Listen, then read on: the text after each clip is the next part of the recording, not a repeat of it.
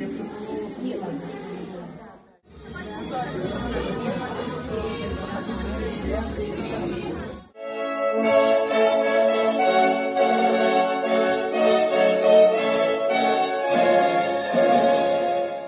присоединились к российскому образовательному проекту «Парта Героя». Примечательно, что открытие «Парты Героя» проходит в канун празднования Дня защитника Отечества. Подвергать себя серьезной опасности ради спасения других – это мужество.